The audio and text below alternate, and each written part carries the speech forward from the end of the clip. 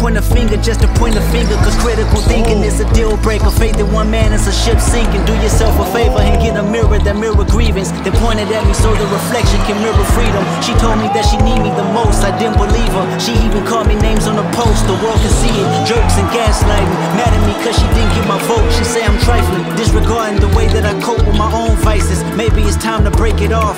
Run away from the culture to follow my heart.